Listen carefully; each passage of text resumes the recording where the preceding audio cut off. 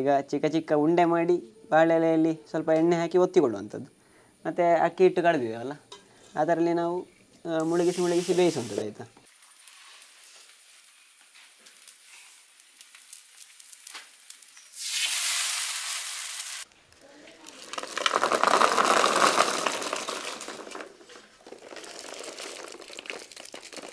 Hi friends ಇವತ್ತಿನ ಈ ವಿಡಿಯೋದಲ್ಲಿ ಉಂಟಲ್ಲ, ಬೇಳೆಯ ವಡೆಯನ್ನು ಮಾಡ್ತಾ ಇದ್ದೇನೆ, ಆಯಿತಾ? ಮೊದಲೆಲ್ಲ ಇದನ್ನು ಬೇಳೆಯ ಹೋಳಿಗೆ ಅಂತ ಕೂಡ ಹೇಳ್ತಾ ಇದ್ರು ಕೆಲವರು. ಹಾಗೆ ಇದನ್ನು ಮಾಡಲಿಕ್ಕೆ ಅಂತೇಳಿ ನಾವು ಇಲ್ಲಿ ತುಂಬ ಜನ ಸೇರಿದ್ದೇವೆ. ಮೊದಲೆಲ್ಲ ಹೇಗೆ ಅಂತ ಹೇಳಿದರೆ ಮನೆಯಲ್ಲಿ ತುಂಬ ಜನ ಇದ್ದರು ಕೂಡ, ಅಂದರೆ ಜಾಯಿಂಟ್ ಫ್ಯಾಮಿಲಿ ಎಲ್ಲ ಇರುವಾಗ, ಎಲ್ಲರೂ ಕೂಡ ಸೇರಿಕೊಂಡು ಈ ಬೇಳೆ ಹೋಳಿಗೆ ಮಾಡಲಿಕ್ಕೆ ಅಂತೇಳಿ ಸ್ವಲ್ಪ ಲೆಂತಿ ಆಗಿರುವಂಥ ಪ್ರೊಸೆಸ್ ಅಂದರೆ ಈ ಬೇಳೆಯನ್ನು ಚೊಲ್ಲುವಂಥದ್ದು ಅದೇ ರೀತಿಯಲ್ಲಿ ಎಲ್ಲ ಕೆಲಸವನ್ನು ಕೂಡ ತುಂಬ ಎಲ್ಲರೂ ಸೇರಿಕೊಂಡು ಮಾಡ್ತಾಯಿದ್ರು ಖುಷಿಯಿಂದ. ಹಾಗೆ ಅದನ್ನು ಇವತ್ತು ಮಾಡ್ತಾ ಇದ್ದೇನೆ, ಆಯಿತಾ? ಒಳ್ಳೆ ರುಚಿಯಾಗಿರುವಂಥ ಹೋಳಿಗೆ, ಆಯಿತಾ? ಹೇಗೆ ಮಾಡೋದು ಅಂತೇಳಿ ನೋಡುವ. ಈಗ ಬೇಳೆನೆಲ್ಲ, ಇದರ ಸಿಪ್ಪೆಯನ್ನೆಲ್ಲ ತೆಗಿಬೇಕು ನೋಡಿ ಹೊರಗಿನದ್ದು. ಅಂದರೆ ಬೇಳೆ ಕೂಡ ಸ್ವಲ್ಪ ಸಮಯ ಒಣಗಿದಂತಹ ಬೇಳೆ ಆದರೆ ನಮಗೆ ಸಿಪ್ಪೆ ತೆಗಿಲಿಕ್ಕೆ ಸುಲಭಕ್ಕೆ ಬರ್ತದೆ ಈ ರೀತಿಯಾಗಿ. ಸಾಮಾನ್ಯವಾಗಿ ಬೇಳೆಯ ಒಡೆಯನ್ನು ಮಾಡುವಾಗ ಉಂಟಲ್ಲ, ಮಣ್ಣು ಉಜ್ಜಿದಂತಹ ಬೇಳೆಯನ್ನು ಇಟ್ಟುಕೊಂಡು ಹಾಗೆಲ್ಲ ಮಾಡುವ ಕ್ರಮ ಉಂಟು. ಅಲ್ಲ ಇದ್ದರೆ ಹೀಗೆ ಬೇಳೆ ಕೂಡ ಆಗ್ತದೆ. ನಾವು ಅಂದರೆ ಸ್ವಲ್ಪ ಸಮಯ ಇಟ್ಟಂತಹ ಬೇಳೆ ಆಗಬೇಕು. ಅಂದರೆ ರುಚಿ ಕೂಡ ಒಳ್ಳೆಯದಾಗಿರ್ತದೆ ಸ್ವಲ್ಪ ಒಣಗಿದಂತಹ ಬೇಳೆ ಆದರೆ. ಯಾವಾಗ ಬೇಕಾದರೂ ಮಾಡಿಕೊಳ್ಳಿಕ್ಕೆ ಆಗ್ತದೆ ಬಿಸಿ ಬಿಸಿ ತಿನ್ನಬೇಕು ಭಾರಿ ರುಚಿ ಇರ್ತದೆ. ಆಮೇಲೆ ಕೂಡ ನಮ್ಮ ಜೊತೆಗೆ ಬೇಳೆಯ ಸಿಪ್ಪೆ ತೆಗಿಲಿಕ್ಕೆ ಸೇರ್ತಾ ಇದ್ದಾನೆ. ಒಂದು ಖುಷಿಯಲ್ಲಿದ್ದಾನೆ ಫುಲ್ಲು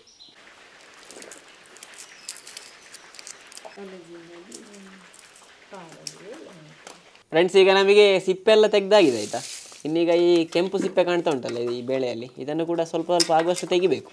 ಹಾಗೆ ಫ್ರೆಂಡ್ಸ್ ಈಗ ನಾವು ಬೇಳೆಯ ಕೆಂಪು ಸಿಪ್ಪೆ ಉಂಟಲ್ಲ, ಅದನ್ನೆಲ್ಲ ತೆಗಿತಾ ಇದ್ದೇವೆ, ಆಯಿತಾ? ಬಟ್ಟೆ ಒಗೆಯುವ ಕಲ್ಲಿನಲ್ಲಿ ಹಾಕಿ, ಈ ರೀತಿಯಾಗಿ ತಿಕ್ಕಿಕೊಳ್ಳೋದು. ಸ್ವಲ್ಪ ನೀರು ಕೂಡ ಹಾಕಿ.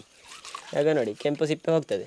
ಸಾಧಾರಣ ಹೋದರೆ ಸಾಕು, ಎಲ್ಲ ಹೋಗಲಿಕ್ಕೆ ಅಂತೇಳಿ ಅಷ್ಟು ಮಾಡಲಿಕ್ಕೆ ಸಾಧ್ಯ ಇಲ್ಲ. ಕಲ್ಲಿನಲ್ಲಿ ಹಾಕಿ ತಿಕ್ಕಿದ್ರೆ ಸುಲಭ. ಇಲ್ಲ ಇದ್ದರೆ ನಾವು ಚೂರಿಯಲ್ಲಿ ಆದರೆ ಕೆರೆಸಿಕೊಂಡು ಕೂತ್ಕೊಳ್ಬೇಕು. ಏಳು, ಎಂಟು, ಹತ್ತನ್ನು ಹಿಡಿದು ಒಟ್ಟಿಗೆ ತಿಕ್ಕುದು. ರುಟು ರುಟಿರುವಂಥ ಬೇಳೆ ಆದರೆ ಕೈಯಲ್ಲಿ ರೋಲ್ ಆಗ್ತದೆ. ಆಗ ಸಿಪ್ಪೆ ಕೂಡ ಹೀಗೆ ಬಿಟ್ಟು ಬರ್ತದೆ. ಚಟ್ಟೆ ಬೇಳೆ ಆದರೆ ಅದು ರೋಲ್ ಆಗೋದಿಲ್ಲ.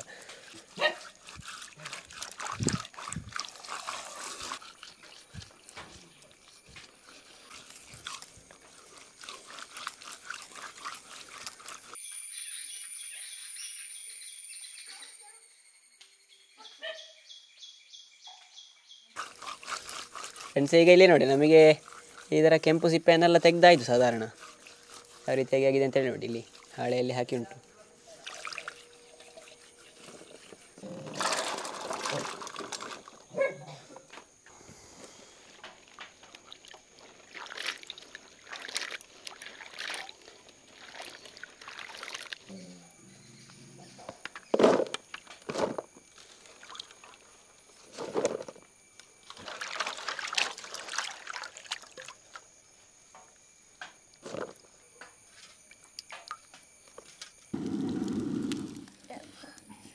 ಹಲಸಿನ ಬೇಳೆ ಬೇಯಿಸಲಿಕ್ಕೆ, ಒಲೆಗೊಂದು ಬೆಂಕಿ ಮಾಡಿ, ನೀರನ್ನು ಕುದಿಲಿಕ್ಕೆ ಇಡುವ. ಮತ್ತು ನೀರು ಕುದಿದ ಮೇಲೆ ಇದು ಬೇಳೆಯನ್ನು ಹಾಕಿ ಕೊಡುವಂಥದ್ದು, ಆಯಿತಾ? ಒಲೆಗೆ ಬೆಂಕಿ ಹಿಡಿಯಿತು.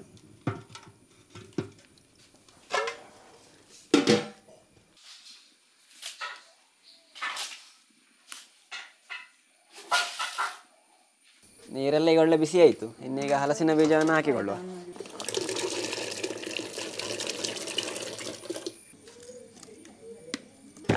ನಮಗೆ ಇದಕ್ಕೆ ಸಿಹಿಗೆ ಬೇಕಾದಷ್ಟು ಬೆಲ್ಲವನ್ನು ತಗೊಳ್ಳುವ ಸಾಧಾರಣ ಅಂದಾಜು ಒಂದು ಕೆ ಜಿಯಷ್ಟು ತಗೊಳ್ತೇನೆ ಬುದ್ಧಿ ಹುಡಿ ಮಾಡಿಕೊಳ್ಳುವ ಅಂತೇಳಿ. ನಮಗೆ ಇದನ್ನು ಬೇಳೆ ಬೆಂದಾಗುವಾಗ ಒಟ್ಟಿಗೆ ಸೇರಿಸಿ ಕಡಿಲಿಕ್ಕೆ ಉಂಟು ಬೆಲ್ಲ ಮತ್ತು ಕಾಯಿ ಕೂಡ ಸೇರಿಸ್ಲಿಕ್ಕೆ ಉಂಟು ಒಟ್ಟಿಗೆ.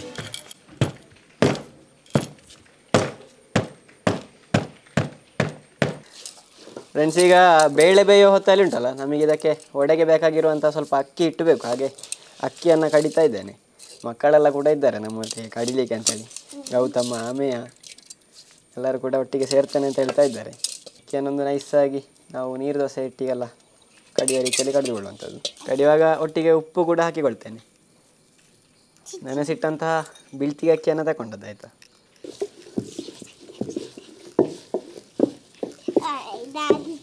ಎಂತಾಯ್ತು? ಆಡುತ್ತಾ?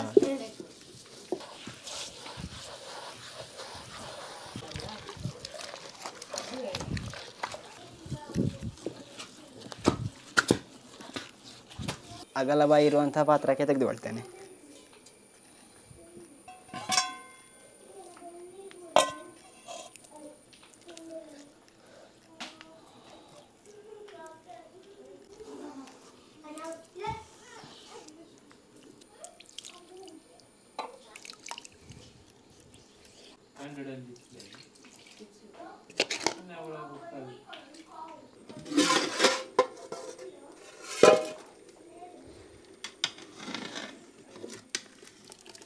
ಫ್ರೆಂಡ್ಸ್ ಈಗ ನೋಡಿ. ಬೇಳೆ ಒಳ್ಳೆ ಬೆಂದಿದೆ ಆಯಿತಾ ಮೆತ್ತಗಾಗುವ ರೀತಿಯಲ್ಲಿ.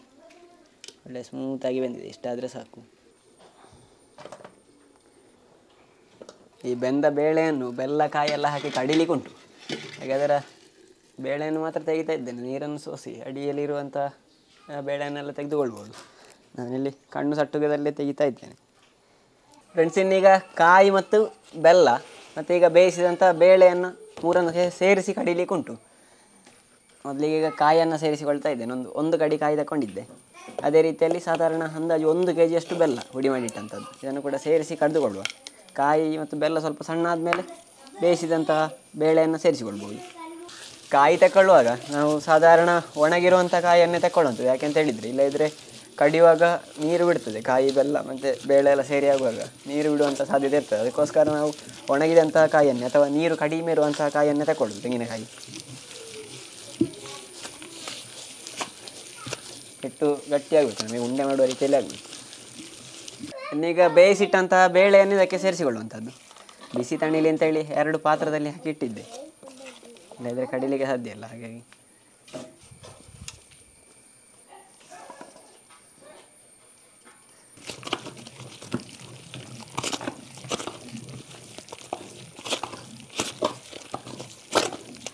ಬೇಳೆ ಒಳ್ಳೆ ಬೆಂದ ಕಾರಣ ಉಂಟಲ್ಲ, ಬೇಗ ಸಣ್ಣ ಆಗ್ತದೆ ಹಾಗೆ ಈ ಬೆಲ್ಲ ಮತ್ತು ಕಾಯಿ ಬೇಳೆ ಮಿಕ್ಸ್ ಆಗಿ ಹೋಗುವಾಗ ಒಳ್ಳೆ ಪರಿಮಳ ಉಂಟು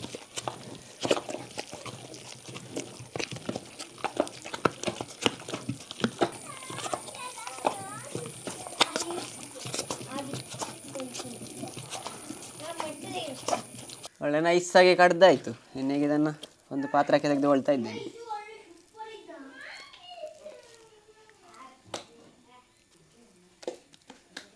ಕೆಲವೊಮ್ಮೆ ಈ ರೀತಿಯಾಗಿ ಕಡ್ದಾಗುವಾಗ ಉಂಟಲ್ಲ, ಹಿಟ್ಟು ನೀರಾಗುವಂಥ ಸಾಧ್ಯತೆ ಇರ್ತದೆ. ಅಂದರೆ ಕೆಲವು ಸಲ ಹಸಿ ಕಾಯಿ ಎಲ್ಲ ಹಾಕಿ, ಹಾಕಿದರೆ ನೀರಾಗ್ತದೆ. ಆ ಸಂದರ್ಭದಲ್ಲಿ ನಾವೆಂತ ಮಾಡ್ಬೋದು ಅಂತ ಹೇಳಿದರೆ, ಈ ಹಿಟ್ಟನ್ನು ಸ್ವಲ್ಪ ಕಾಯಿಸಿಕೊಂಡ್ರೆ ಆಯಿತು. ಕಾಯಿಸಿಕೊಂಡು ನಮಗೆ ಉಂಡೆ ಮಾಡುವ ಅದಕ್ಕೆ ಮಾಡಿಕೊಂಡ್ರೆ ಆಯಿತು. ಒಡೆಗೆ ಬೇಕಾದಂಥ ಒಂದು ನಾಲ್ಕು ಬಾಳೆಲೆಯನ್ನು ಬಾಡಿಸಿಕೊಳ್ಳುವ. ಬಾಳೆಲೆ ಬಾಡಿಸದೇ ಇದ್ದರೆ ಮತ್ತೆ ಒತ್ತುವಾಗ ಹರಿಯುತ್ತದೆ. ಅದಕ್ಕೋಸ್ಕರ ಬಾಡಿಸಿಕೊಳ್ಳುವಂಥದ್ದು ಒಡೆ ಸ್ವಲ್ಪ ಬಣ್ಣ ಬರಲಿಕ್ಕೆ ಬೇಕಾಗಿ ನಾವು ಸ್ವಲ್ಪ ಅರಶಿನ ಹುಡಿಯನ್ನು ಸೇರಿಸಿಕೊಳ್ತಾ ಇದ್ದೇವೆ ಅಕ್ಕಿ ಹಿಟ್ಟಿಗೆ ಫ್ರೆಂಡ್ಸ್ ಈಗ ನಮಗೆ ಬೇಕಾದಂಥ ಹಿಟ್ಟೆಲ್ಲ ರೆಡಿ ಆಯಿತು. ಅದೇ ರೀತಿಯಲ್ಲಿ ಹಂಚು ಕೂಡ ಒಲೆಯಲ್ಲಿ ಹಿಟ್ಟೆಲ್ಲ ಸೆಟ್ ಮಾಡಿದ್ದೇವೆ. ಈಗ ಚಿಕ್ಕ ಚಿಕ್ಕ ಉಂಡೆ ಮಾಡಿ ಬಾಳೆಲೆಯಲ್ಲಿ ಸ್ವಲ್ಪ ಎಣ್ಣೆ ಹಾಕಿ ಒತ್ತಿಕೊಳ್ಳುವಂಥದ್ದು. ಮತ್ತು ಅಕ್ಕಿ ಹಿಟ್ಟು ಕಳೆದಿದ್ದೇವಲ್ಲ ಅದರಲ್ಲಿ ನಾವು ಮುಳುಗಿಸಿ ಮುಳುಗಿಸಿ ಬೇಯಿಸುವಂಥದ್ದು, ಆಯಿತಾ? ಹಂಚಿಗೆ ಸರಿಯಾಗಿ ಎಣ್ಣೆಯನ್ನು ಹಚ್ಚಿಕೊಂಡು ಈಗ ಒತ್ತಿರುವಂತಹ ಹಿಟ್ಟನ್ನು ಉಂಟಲ್ಲ ಅಕ್ಕಿ ಹಿಟ್ಟಿನಲ್ಲಿ ಅದ್ದಿ ಯಾವ ರೀತಿಯಾಗಿ ಹಂಚಿಗೆ ಹಾಕಿಕೊಳ್ಳೋದು ಅಂತೇಳಿ ನೋಡ್ಕೊಳ್ಬೋದು. ಅಕ್ಕಿ ಹಿಟ್ಟನ್ನು ಕೂಡ ಜಾಸ್ತಿ ನೀರು ಮಾಡೋದು ಬೇಡ.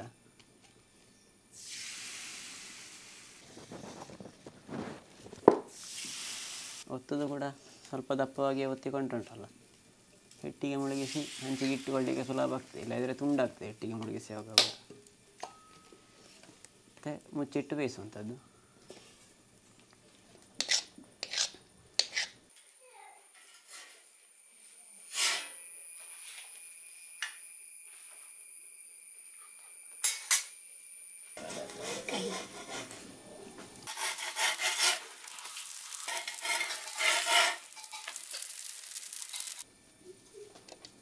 ಹಂಚಿನ ತೆಗೆದು ಬೇರೊಂದು ತಟ್ಟೆಯಲ್ಲಿ ಹಾಕಿಕೊಳ್ಳುವಂಥದ್ದು.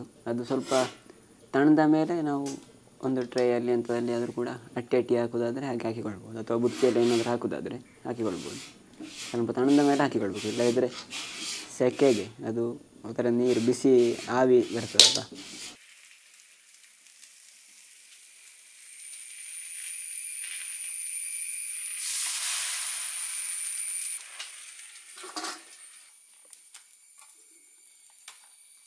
ಫ್ರೆಂಡ್ಸ್ ನಮಗೆ ಬೇಳೆ ವಡೆ ಎಲ್ಲ ಮಾಡಿ ಆಯ್ತು ಆಯ್ತಾ? ಇನ್ನೇಗೆ ಇದನ್ನು ತಿಂದು ರುಚಿ ಹೇಗಾಗಿದೆ ಅಂತೇಳಿ ನೋಡಬೇಕು. ಮನೆಯವರೆಲ್ಲ ರೊಟ್ಟಿಗೆ ಸೇರಿದ್ದೇವೆ. ಇನ್ನೀಗ ತಿಂದು ನೋಡುವ ಹೇಗಾಗಿದೆ ಅಂತೇಳಿ ಆಯಿತಾ? ಆಯ್ತಾ?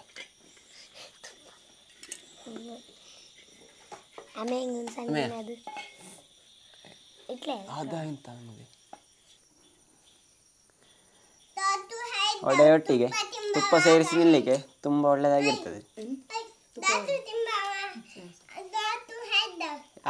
ಯಾವ ಡಾಕ್ಟ್ರ ನಿನಗೆ.